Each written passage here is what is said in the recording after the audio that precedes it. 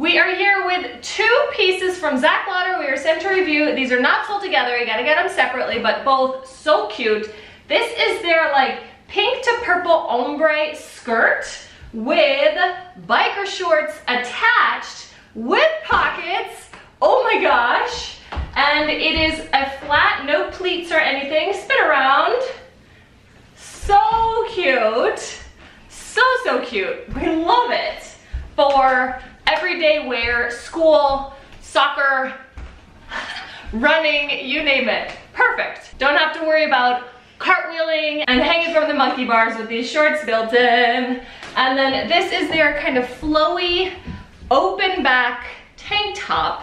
Whoop, whoop. If you don't want the skin exposed, you can wear your own like fitted tank top or t-shirt underneath it.